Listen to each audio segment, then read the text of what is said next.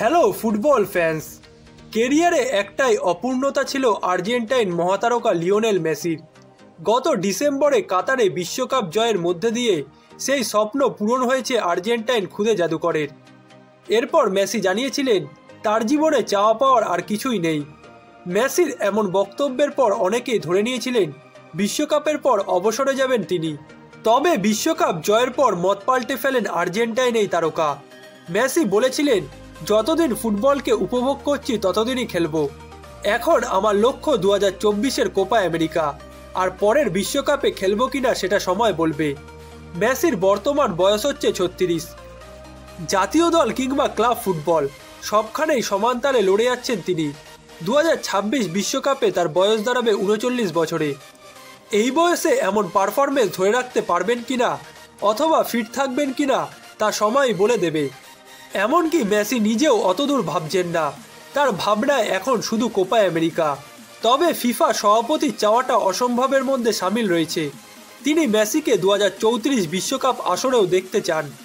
মেসিকে বিশ্বকাপে দেখতে যাওয়ার ব্যাপারে প্রশ্ন করা হলে ইনফান্তিনো বলেন, পরবর্তী আসর তার পরের বিশ্বকাপ এবং দু হাজার চৌত্রিশ সালেও দেখতে চাই তাকে। যতদিন পর্যন্ত মেসি খেলতে চায়, ফিফা সভাপতির এই চাওয়া যদিও তার একার নয়। বরং অনেক অনেক ভক্তেরও। তবে কোপা আমেরিকার পরই হয়তো জানা যাবে মেসি খেলবেন কিনা। এই সম্পর্কে ইঙ্গিতও দিয়ে রেখেছেন তিনি নিজেই। বর্তমানে মেসি দু হাজার চব্বিশ কোপা আমেরিকাটাকে টার্গেট করছে এবং সেটাকে সামনে রেখে অনুশীলন সারছে। বর্তমানে গ্রুপ পর্বে আর্জেন্টিনা দুটি প্রতিপক্ষ নির্ধারিত হয়েছে। তারা হচ্ছে পেরু ও চিলি। এবং তৃতীয় দল হিসেবে কানাডা ও টাবাগোর মধ্যে যে কোনো একটি দল গ্রুপ এতে আর্জেন্টিনা, চিলি ও পেরুর সঙ্গে যুক্ত হবে। দু হাজার চব্বিশের কোপা আমেরিকার যাত্রাটা আর্জেন্টিনা শুরু করবে কুড়ি জুন থেকে। এবারের আসরের প্রথম ম্যাচেই মাঠে নামবে আর্জেন্টিনা, যেখানে তারা মুখোমুখি হবে কানাডা কিংবা টাবাগোর বিপক্ষে। এই দুটি দলের মধ্যে প্লে অফ থেকে যেই দলটি কোপা আমেরিকা জায়গা করে নেবে সেই দলের বিপক্ষেই ডিফেন্ডিং চ্যাম্পিয়ন আর্জেন্টিনা মাঠে নামবে তাদের প্রথম ম্যাচে। এরপর পঁচিশে জুন গ্রুপ পর্বে নিজেদের দ্বিতীয় ম্যাচে মাঠে নামবে মেসিরা, যেই ম্যাচটি চিলির বিপক্ষে খেলবে আর্জেন্টিনা। এবং গ্রুপ পর্বে শেষ ম্যাচে উনত্রিশে জুন মাঠে নামবে আর্জেন্টিনা। ম্যাচটি তারা খেলবে পেরুর বিপক্ষে।